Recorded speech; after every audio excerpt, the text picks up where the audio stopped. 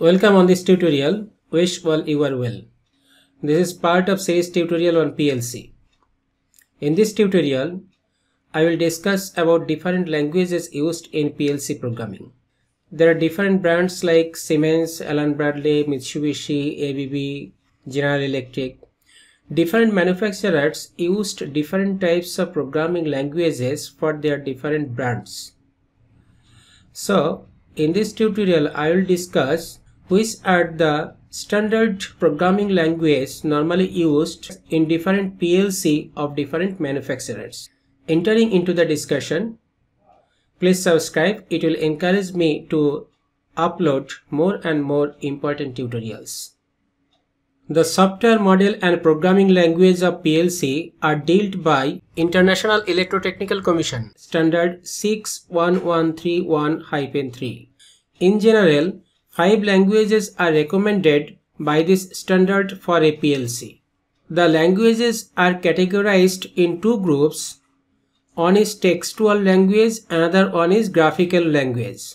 In the category of textual language, one is instruction list, another one is structured text. Under the category of graphical form, one is ladder diagram or ladder logic. This is mostly used PLC programming software or programming language. Another one is function block diagram and next one is sequential function chart. In textual type language, instructions are normally written with English-like words, whereas the programming language under graphical form, all the instructions are normally written using different symbols. I will discuss all these five types of programming languages with examples. Instruction list. It is a low-level textual based language and it resembles assembly language. Here we use mnemonics code such as LD, load and or etc. Instruction list consists of many lines of code where each line represents exactly one operation. Say OR percent %m This is used for ORing operation with I on point 1. Advantage of instruction list. Instruction list is well suited for small application only which involve simple mathematical functions. This language is much more compact and requires less space in PLC memory. In disadvantage, instruction list is not user friendly and not very powerful programming language. Implementation of different complex function like PID, complex mathematical computations, this needs greater effort. This is one programming using instruction list load i 1.1 or m on store q 2.3 here this ld or st these all are just like mnemonics used in microprocessor programming. I 1.1 is the address of a input. M1 is the memory bit. Status of this memory bit will be ORed means ORing operation with the status of input i 1.1. Ultimately the result will be stored at a memory location specified with the output q 2.3. So this is a very simple program which has been explained here to indicate how instruction list programming language is used. Next, structured text. It is a high-level textual language similar to BASIC, Pascal, C, C++, etc. It can handle the complexity of program by implementing process control functions, calculus, trigonometry and data analysis far easier than ladder and instruction list programming. It runs much faster than instruction list and easily gets transferable to any other IEC hardware PLCs with very few changes. The code uses statements which are separated by semicolon just like C programming. It uses functions such as for, while, if, else, else if, etc. Say one example I am explaining here. It is a heater and cooler on and off based on temperature. See, when the temperature is higher than 20 degree centigrade say, then the heater is off, cooler is on. So this is one condition. Else if, when the temperature is less than 90 degree centigrade, then heater is on, cooler is off. So this is very similar to C programming and it is more understandable than instruction list programming language. Next advantages and disadvantages. Structured text language is very organized and good for computing large mathematical calculations. It enables us to cover some instructions which are not available in some other languages like the ladder diagram. In disadvantages, for troubleshooting it is not so suitable and somewhat unfamiliar for the service and maintenance personnel also. The syntax can be difficult in this case. It is hard to debug and it is difficult to edit online. Next coming to ladder language. This ladder language is the most widely used programming language for the PLC and when the PLC started at the starting time the ladder language was the only language. Until now it is the most widely or most familiar language for PLC programming. With PLC, this ladder language was invented to replace the hardware relay control system. It is the simple and widespread adopted language. Even a non-programmer with electrical, electronics or instrumentation background able to understand and troubleshoot the program. It is a graphical type of language, consists of several logic instructions, rungs and power rails. I am trying to explain ladder diagram with very simple example. This is hardware relay logic and this is the ladder representation of this relay logic. What is here in the hardware relay logic? There are three switches, switch 1, switch 2 and here another switch push button. Function of these three switches are say when switch 1 will be pressed the pump will be on when switch 2 will be pressed, the pump will be off. So switch 1 is the start switch, switch 2 is stop switch. And this is push button switch which might be used as emergency stop switch. How this relay logic diagram works? When this start switch will be pressed, on relay coil is here CR1 that will be energized and on contact of this one has been taken here as NO contact. This stop switch when it will be pressed this is another relay coil CR2 when this will be energized on contact has been taken from this here that is CR2 this is NC contact. So when this CR2 will be energized, this will provide logic 0. This is push button and which is normally close contact. So what is target? When this switch 2 is not pressed, this CR2 is not energized and a NC contact has been taken from here. So this is logic on. This push button is normally close contact. So this is just like short circuit, this is just like short circuit. Now when this switch 1 will be pressed, then this coil will be energized and this will be logic on. So this pump will get the power through this line and ultimately pump will be running. How to stop it? When this switch 2 will be pressed, this relay coil will be energized and as this is energized, so this contact will be now in open. It is just like inverter or NOT gate. So when this is open, so no power flow will come at the pump, so pump will be stop condition. Similarly, if we press this push button, there will be a power cut from here, so ultimately the pump will be off condition. Now, how in ladder diagram the similar logic can be implemented. This is the ladder of above relay logic diagram. Here the horizontal lines are normally called rungs and these vertical two lines are called the power rail. All these here are virtual.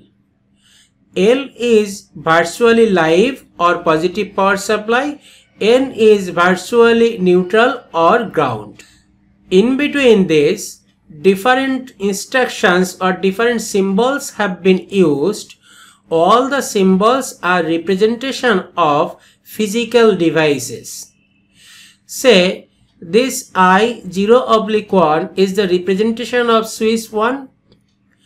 This output B 3 oblique 1 is the representation of this CR1 coil. This switch 2 is represented by this NO contact. CR2 is represented by this output. Similarly, this 3, this push button, this is normally close contact here this is normally close contact this is the close contact. This is that close contact which is coming from this relay coil or this output. This is normally open contact normally open contact which is related with this b3 oblique 1 output or relay coil. So this is the similar representation of this actual relay logic. These are the physical devices and these are the contact related with that physical devices. Now how this will work? As this push button which is normally closed, so this is no doubt logic on. This is the stop switch.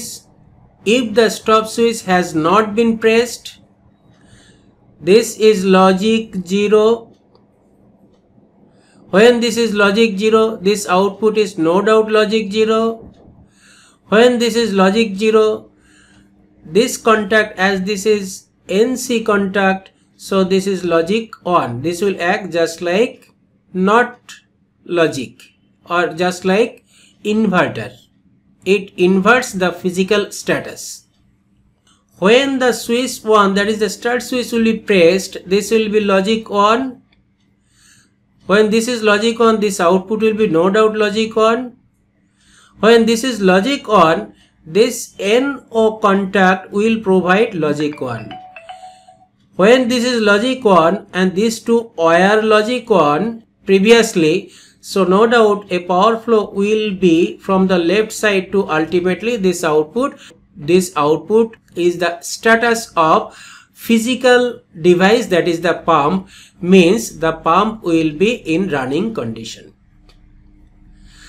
Now for stopping the pump, when this switch 2 will be pressed, then this will be logic on. When this will be logic on, no doubt the output will be logic on. When this will be logic on, the corresponding NC contact, this will be logic 0. When this will be logic 0, no doubt there will be a power cut means no power flow from this left side to the pump. So the pump will be off. Similarly, by pressing the push button, we may make pump off. So this is how we can program a particular logic by using ladder diagram. I will go forward with more and more explanations of ladder diagrams in coming different tutorials. Next, Functional block diagram. Functional block diagram also a graphical language and it is second most widely used programming language. It consists of various functional blocks which are reusable software elements consisting of one or more inputs and one or more outputs. These function blocks includes logic gates, counters, timers, PID blocks, data conversion blocks, etc. This is one example of function block. Say this is the bulb which is output device. This bulb will be in run condition by using this start switch. This bulb will be made off by using this stop switch. Now how this can be done by using the function block diagram. Here this is the tag number of this bulb and this is the ultimate output. This output is the AND gate of two inputs IN1 and IN2. IN1 is the output of a OR block and in this OR block one input is the start switch another input is the status of this output. Now why this status of this output is required here I am coming. What is this IN2 input of this AND? This is signal of a NOT gate whose input is stop switch. Say we haven't pressed this stop switch, so the logic of stop switch is 0. This is the input of NOT gate or inverter, so output here will be logic 1. So what is needed to make the bulb on? One input of this AND block is logic 1, another input should be logic 1. How this logic 1 is made here. When the start switch will be pressed means this is logic on irrespective of this input as this is the OR gate so no doubt here the input will be logic 1. This is logic 1, this is logic 1 so the bulb will be logic 1 that is bulb will be on state means it will produce light. Now, why the status of this output has been taken here? Whether start switch or stop switch, these switches are normally momentary switch. Momentary switch means when the switch will be pressed, this will be logic 1, but when the switch will be released, it will be logic 0. Means for starting when the switch will be pressed, this is no doubt logic 1 and according to this explanation the bulb will be logic 1 or bulb will run. But very next moment if we release the switch no doubt this will be logic 0 and ultimately this will be logic 0 means bulb will be again off. But this is not the desired case what we need we need when this will be pressed then bulb will be on when this will be released, then also the bulb will remain on and this is normally called latching system. In our PLC or in our process control system using PLC, this latching system is very very important. Now here how this latching system is done? When this start button has been pressed, this is logic on. No doubt here this input is logic on as this is OR gate. So irrespective of this input whether this is 0 or 1 this will be no doubt on. And as this is logic on, no doubt the output is logic on. when this is logic on, this is the output. Status of this output has been taken as input. So this is logic 1 next if we release the start button means here if it is 0 it will not create any problem because these two are inputs of this one so any one input now this is logic one. So because of this logic one the, here the logic one will remain and ultimately the bulb will remain in glowing condition. How this bulb can make off when we will press this stop switch this will be logic on when this is logic 1 as this is inverter so this will be logic 0. Now this is AND block so any one input is 0 output will be logic 0 so bulb will be off condition. So this is one example using functional block diagram how a bulb or any type of output can make on by using start switch and the next time how it can be off by using stop switch. This is another example of function block diagram. See here, this is AND block, this is the pulse timer and this is output block. Normally output block is defined by equal sign. Again, this is the another example. This AND block having two inputs. This is a comparator block. This will compare. This is a counter block and ultimately this is the output block. So using different blocks program in functional block diagram can be written. Advantage functional block diagram is a visual method so it is mostly used or one of the easiest method for PLC programming. In disadvantage a large number of screen space is required.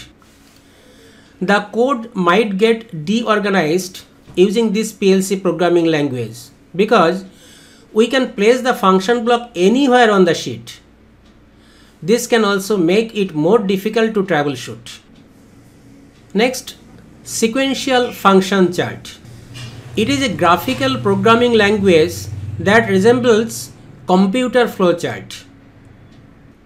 This type of program controls the system as a series of steps and transitions to achieve end results.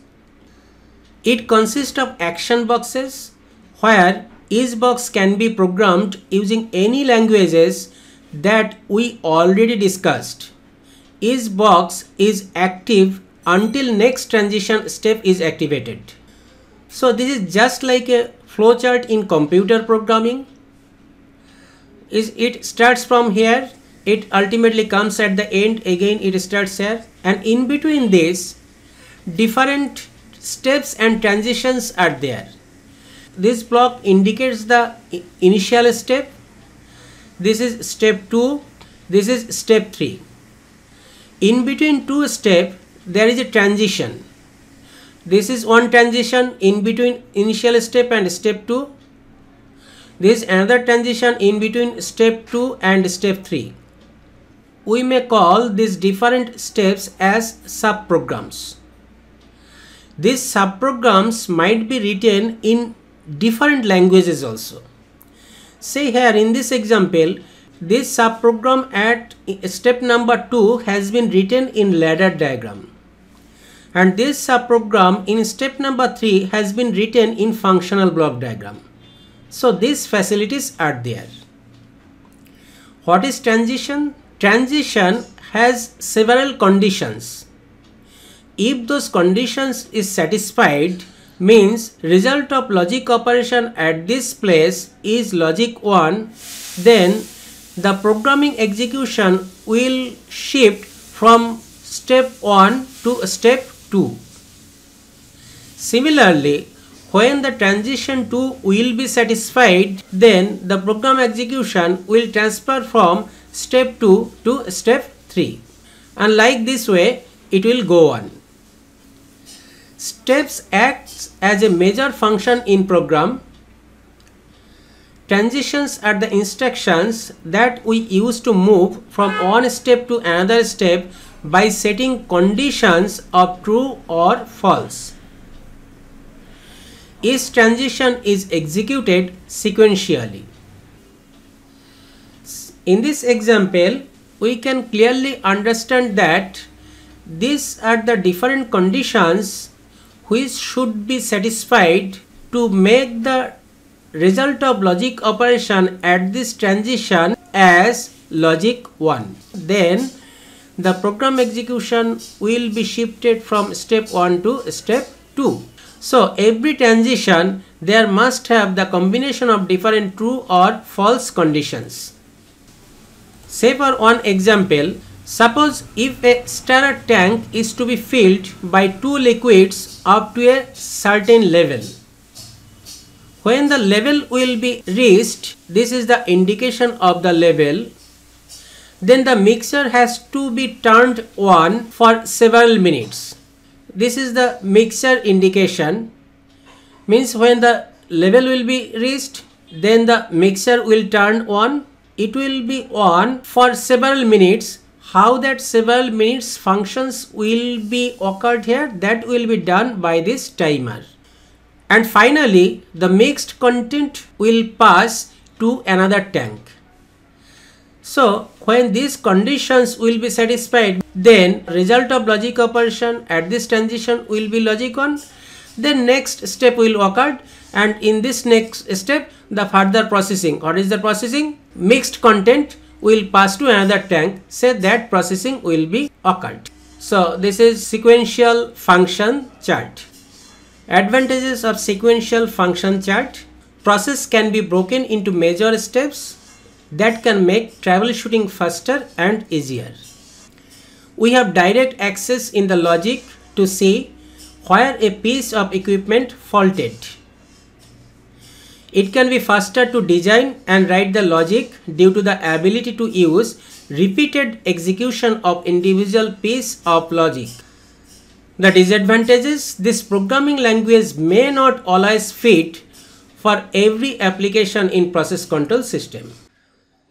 I have discussed different languages used in PLC programming. I have discussed instruction list, structured text, ladder diagram or ladder logic, functional block diagram, sequential function chart.